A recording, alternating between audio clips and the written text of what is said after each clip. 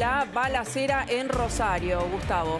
Exactamente, Guadalupe, Francisco, porque el fiscal que está a cargo de la, escuchen, Unidad de Investigación de Balaceras de Rosario del Ministerio Público ordenó a la policía el secuestro y la revisión de todas las cámaras de seguridad de la zona aledaña a Moreno y el Boulevard 27 de Febrero, donde funciona el supermercado de José Rocuzzo, eh, tío de Antonella Rocuzzo, esposa de Lionel Messi. La decisión fue eh, entregada a la policía en el momento que el fiscal estuvo revisando la escena donde dos sicarios desde una moto dispararon 14 balazos contra el frente de este supermercado después de haber dejado una nota, una amenaza en la que le decían, Messi, si no vengas a Rosario, Hapkin es narco y él no te va a cuidar. Y ahí está Juan Cruz Funes, con quien retomamos el contacto. Juan Cruz, adelante, ¿qué es lo que está pasando? ¿Cómo están? Buen mediodía, renovamos el saludo para ustedes. Estamos trabajando enfrente de este supermercado que tiene custodia de la Policía Provincial, por eso ven aquí a mi lado un patrullero. Está abierto con normalidad, ahora les voy a mostrar eh, más sobre la propia vereda y el ingreso, cómo es que se está trabajando. Pero a propósito de lo que decían recién, me parece interesante reflejarles esta imagen, que es una de las cámaras que hay aquí en esta cuadra. Hemos contabilizado por lo menos cuatro. Esta es una de ellas que está sobre un domicilio particular acá hay otra también que toma para el otro lado, para que pueda seguramente haber tomado alguna imagen de los atacantes, de las personas que pasaron en moto, eran dos, es lo que se sabe, dos y media de la mañana.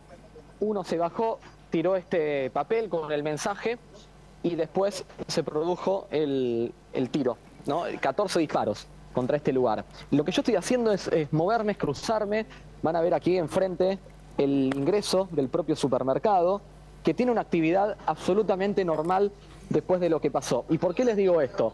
Porque hasta incluso ya a esta hora de la mañana, del mediodía, digo, mientras ven pasar los autos aquí por la zona con un movimiento absolutamente normal, los vidrios ya han sido cambiados. Estos vidrios que hoy a la ah, mañana estaban afectados por algunos disparos, ya fueron cambiados. Fíjate que hasta tiene eh, es parte de calcomanía o algo haciendo ilusión, alusión al tipo de vidrio y que fue cambiado, por lo tanto esto ya tiene una fisonomía normal, ¿eh? como si fuese un día común y corriente. la gente tiene que seguir trabajando, obviamente. la, vida sigue y, lamentablemente está naturalizado esto, ¿no? Totalmente. El mensaje, te digo, generalizado es de algunos vecinos acá, es, bueno, hay que seguir. Eh, hay que seguir con la rutina, hay que seguir con el día a día. Por eso tienen esta imagen ahora, que es la del ingreso del comercio. Ven que es un día absolutamente claro. normal. Juan Cruz. Hay eh, empleados, hay policía. Si, tuviste la oportunidad de escuchar al ministro de Seguridad, Aníbal Fernández, eh, y vos que has obtenido testimonios y que estás con todos los vecinos de la zona, si alguno hizo algún comentario o cómo cayeron las palabras del ministro de Seguridad. Los narcos han ganado. Sí, mira, eh, hace varios días que se lo viene escuchando a Aníbal Fernández decir que este es un problema no actual, sino desde hace 20 años, eh, que han pasado distintos gobiernos, principalmente gobiernos socialistas aquí en la provincia de Santa Fe, que estos últimos cuatro han sido gobiernos peronistas, pero eh, sí, verdaderamente son palabras bastante fuertes, sobre todo viniendo de la, del tipo de autoridad ¿no? que, que la está manejando. Eh, yo, a ver, lo que te estoy mostrando es parte del ingreso de, este supermercado donde eh, acuden vecinos hasta de forma normal, te diría, después de todo lo que ha pasado, fíjate cómo van entrando, y que prácticamente esto lo toman como una naturalización y a la vez dicen, bueno, quizá a partir de haber esto ocurrido eh, con alguien tan reconocido a nivel mundial como es Lionel Messi, pueda, ¿por qué no tener otro tipo de repercusión?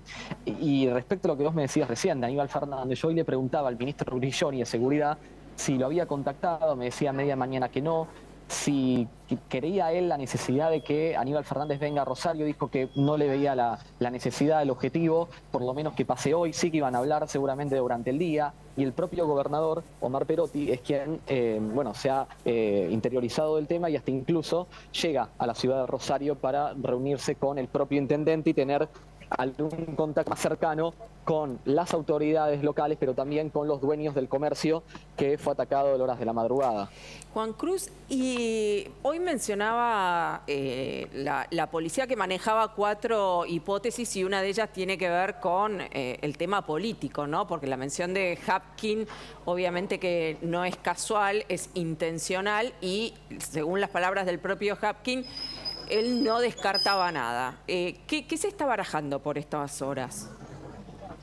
Mira, eh, principalmente hay que decir que no hay personas detenidas, no hay personas identificadas, solo se sabe que son dos hombres en una moto. Eh, hacer cualquier tipo de análisis, elucubración o conjetura, mm, todos me parece que lo considerábamos acá, incluso con las autoridades, bastante apresurado porque no hubo ningún tipo de amenaza previa, no hubo ningún tipo de advertencia sobre esta familia, sobre este local en particular. Sí lo que podemos analizar es qué ha pasado en las últimas horas en la provincia. ¿Por qué les digo esto?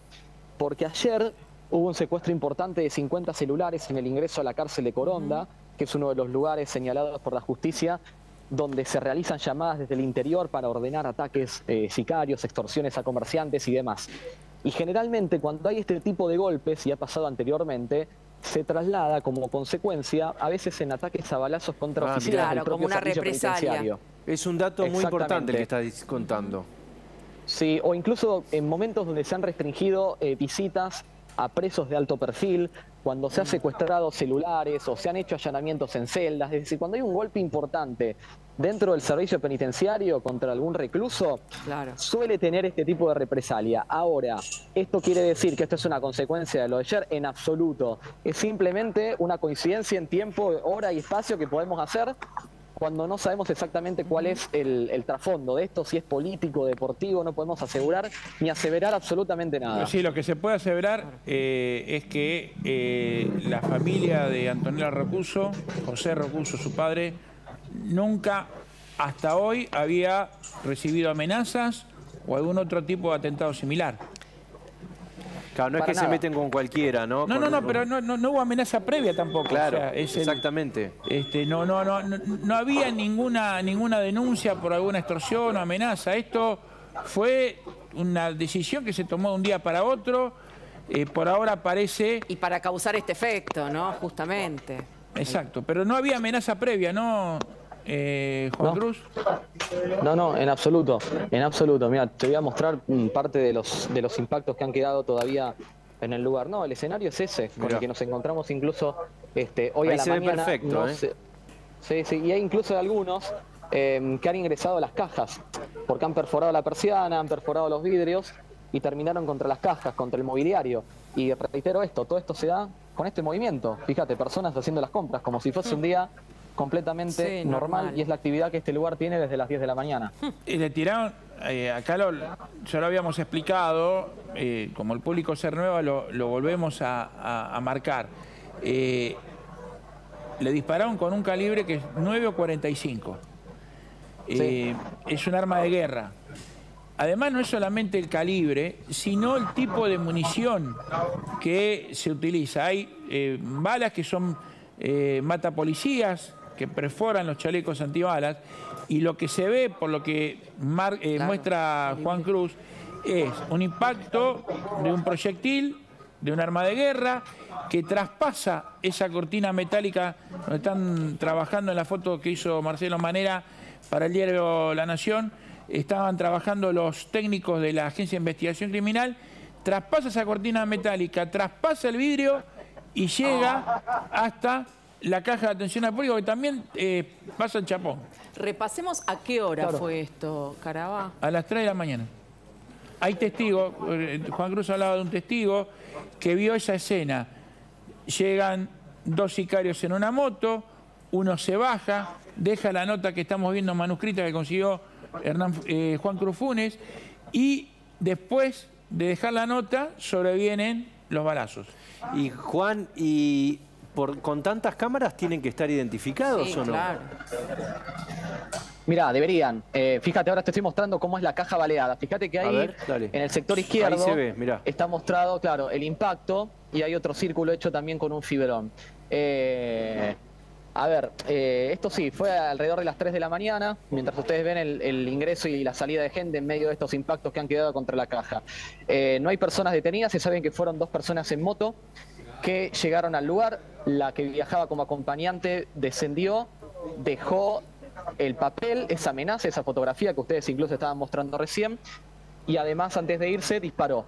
Una vez que hizo eso, después de tirar estos 14 tiros, se subió a la moto y escapó en principio hacia el sur. Acá estamos, les cuento, en zona oeste de Rosario, esto es a 50 metros del Boulevard 27 de Febrero, a 15 cuadras de la cancha de Newells, del Parque Independencia, como para decirles que el pulmón eh, que tiene la ciudad y unas 30 cuadras del monumento, una zona completamente residencial que tiene casas bajas, no hay edificios, hay comercios como en cualquier barrio, y distribuidoras, cualquier tipo de movimiento que ustedes pueden llegar a ver o a tener en cualquier barrio, eh, pensando en Buenos Aires, digo, esto no, es eh, absolutamente pleno centro, pero sí es un barrio residencial que está completamente conmovido por lo que ha sucedido en horas de la eh, madrugada. El, impacto, el impacto de este ataque sobrepasa y multiplica lo que ocurrió en 2013 cuando los narcos le valieron la casa al gobernador Antonio Bonfatti se estaba jugando el partido por la eliminatoria para el Mundial de 2014 entre Argentina y Perú en la cancha de River y al mismo tiempo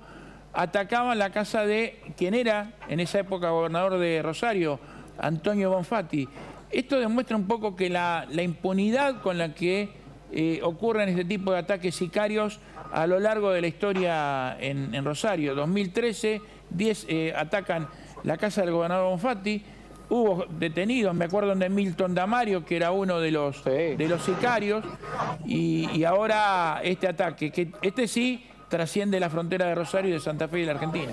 Juan, eh, para, ir eh, cerrando, se espera, bueno, políticamente decías, una reunión entre el ministro y el gobernador, la familia, eh, ya habló a la mañana, no, no, no está, vive por ahí, ¿no? También.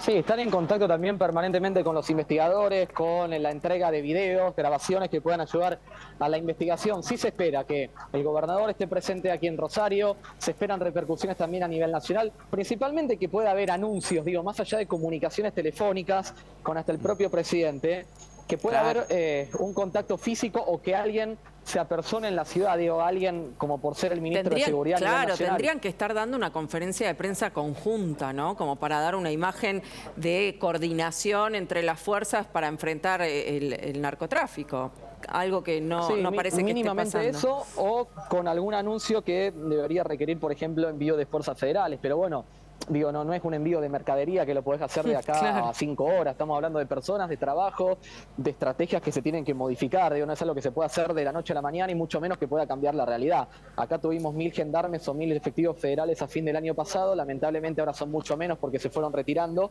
y no hay, al menos a esta hora del, mediodía, anuncios de que pueda eh, clarificarse con más llegada, a pesar de que el intendente pidió, Capkin pidió 5.000 efectivos de fuerzas federales para intentar eh, un poco esta situación que se vive en Rosario. Gracias, Juan. Muy concreto y muy preciso. ¿eh?